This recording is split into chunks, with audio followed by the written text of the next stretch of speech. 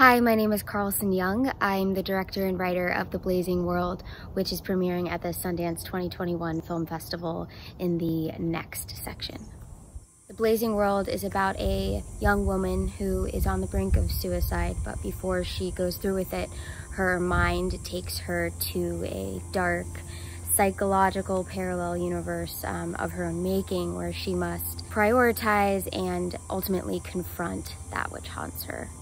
One thing that was really exciting for me was to craft from the ground up the visual identity and palette and language of each individual chapter and movement of the film as the story progresses, we're really taking a deep dive into the psychedelic hive of the character Margaret's mind. And so I was really fascinated by the idea that trauma, the place that it exists in your brain, actually doesn't have a sense of time. That's a really big part of it is the disorientation and the urgency that we only have so long to spend in the back of our brain before it, it becomes dangerous.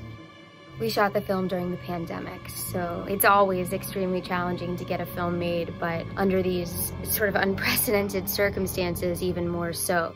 I am just insanely proud of our incredible crew who truly held this project together from the inside out. And my DP, Shane Kelly, was just, you know, off the charts incredible. And we all had a creative dialogue and a creative cohesion that was present really for the entire duration of the shoot.